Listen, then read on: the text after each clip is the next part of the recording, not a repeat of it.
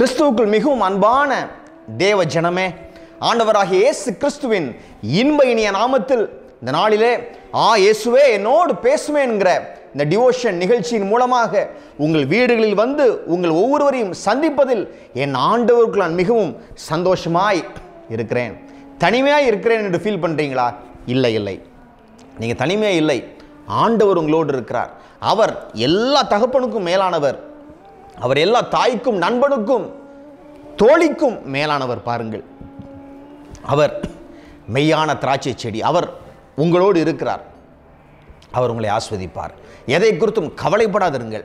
நம் ஆண்டவருடைய நல்ல வசனத்தை இந்த நாளிலே பார்ப்போம் வாருங்கள். யோவான் பதினாறு முப்பத்தி இரண்டின் கடைசி பகுதி மாத்திரம் ஆனாலும் நான் தனித்திறேன். பிதா என்னுடனே கூட இருக்கிறார். ஆண்டவர் சொல்லுகிறார் நான் தனித்திறேன் நான் தனித்திறேன்.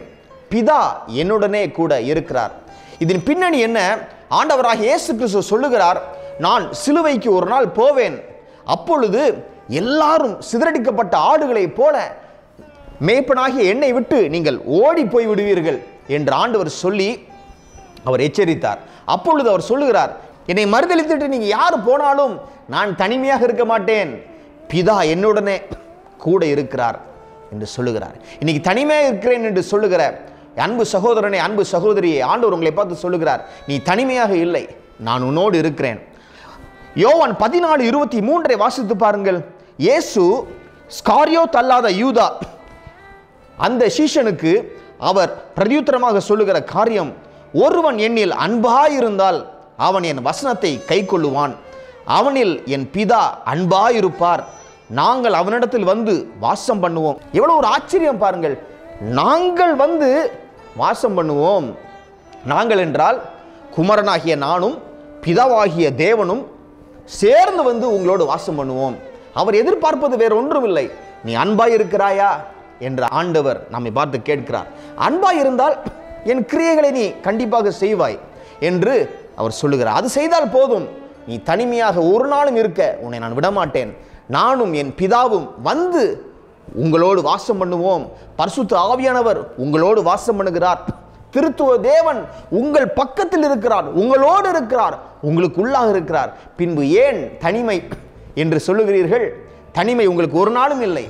அவர் உங்களோடு இருக்கிறார். உங்கள் கரத்தை அவர் பிடித்திருக்கிறார். ஆதியாகமம் முப்பத்தி ஒன்று வசனங்கள் ஒன்று இரண்டு மற்றும் இருபத்தி ஒன்று. இந்த மூணு வசனங்களையும் வாசித்து பாருங்கள். நான் வாசிக்கிறேன். யோசேப்பு எகிப்துக்கு கொண்டு போகப்பட்டான். பார்வோனுடைய பிரதானியும் தலையாரிகளுக்கு அதிபதியுமாகிய போத்திபார் என்னும் எகிப்து தேசத்தான் அவனை அவ்விடத்திற்கு கொண்டு வந்த இஸ்மவேலரிடத்திற்கு விலைக்கு வாங்கினான். கர்த்தர் யோசேப்போடு இருந்தார். அவன் காரிய சித்தி உள்ளவனானான். அவன் எகிப்தியனாகிய தன் எஜமானுடைய வீட்டிலே இருந்தான். இருபத்தி ஓராவது வசனம். கர்த்தரோ யோசேப்போடு இருந்து அவன் மேல் கிருபை வைத்து அவனுக்கு சிறைச்சாலை தலைவனுடைய தயவு கிடைக்கும்படி செய்தார். பாருங்க தேவஜனமே யோசேப்பு செல்ல பிள்ளையாய் மல்டி கலர் கார்மெண்ட்ஸ்லாம் போட்டு பல வருண அங்கிகளெல்லாம் போட்டு அவர் தன் வீட்டில் செல்ல பிள்ளையாக இருக்கிறார். யாக்கோபு அவ்வளோ செல்லமாக வளர்க்குறாரு. அவருக்கு எல்லாம் பயங்கரமான ட்ரெஸ்ஸு எல்லாம் போட்டு சூப்பராக வளர்க்குறாரு. ஆனால் அந்த யோசேப்பு ஒரு நாள் விற்கப்படுகிறார். தன்னுடைய சொந்த சகோதரர்களாலே அவர் விற்கப்படுகிறார் பாருங்க. பிரைஸ்க்கு மணிக்கு என்னைக்குமே ஆண்டவர் கொடுக்கிறது ஃப்ரீயாக கொடுப்பாரு. ஆனால் சாத்தான் கொடுக்கிற காரியங்களிலே அவன் பிரைஸை செட் பண்ணுவான். கடைசியில் பாருங்க யோசேப்புக்கே ஒரு பிரைஸ் வச்சுட்டாங்க. ஒரு உயிருக்கு அவங்க பிரைஸ் வைக்கிறாங்க பாருங்க. ஆனால் யோசேப்பு விற்கப்பட்டார். பரிசுத்த வசனம் சொல்லுகிறது யோசேப்போடே தேவன் இருந்தார். அவன் காரிய சுத்தி உள்ளவனானான். நீங்கள் செய்கிற காரியம் வாய்க்கும்படி ஆண்டவர் உங்களை காரிய சித்தி உள்ள ஜனங்களாய் அவர் மாற்றுகிறார். சிறைச்சாலைக்கு போனார். சிறைச்சாலை தலைவனுடைய கண்களிலே அவருக்கு தயவு கிடைத்தது.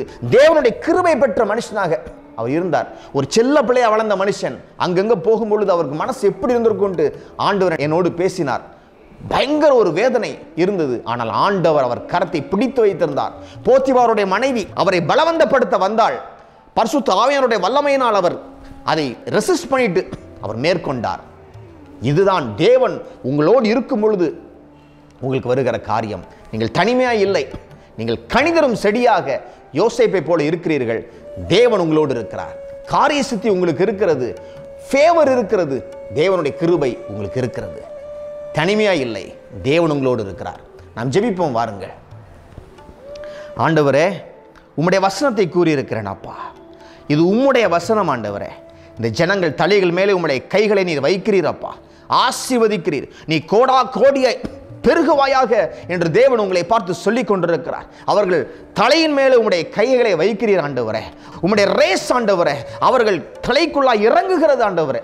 மூளை பகுதியில் இருக்கிற டிஃபெக்ட்ஸ் எல்லாம் ஹீல் ஆகுது ஆண்டவரே. நர்வஸ் டிசீசஸ் போன் டிசீசஸ் எல்லாம் மறைகிறது ஆண்டவரே. இந்த நாளிலே விசேஷமாய் தேவனுடைய பரிசுத்த ஆவியானவர் அசைவாடி கொண்டிருக்கிறீர் ஆண்டவரே. ஹalleluya பெரிய காரியங்களை செய்து உம்முடைய நாமத்தை மகிமைப்படுத்திக் கொள்ளும் ஆண்டவரே. நீர் ஒருவருக்கே எல்லாம் மகிமை துதி கனமெல்லாம் உண்டாயிருக்கட்டும் ஆண்டவரே. நன்றி செலுத்தி இந்த ஜெபத்தை எங்கள் அன்பர் இயேசு கிறிஸ்துவின் இன்ப இனிய நாமத்தில் நாங்கள் ஏறெடுக்கிறோம். எங்கள் பாசமுள்ள பிதாவே. ஆமேன். ஆமேன்.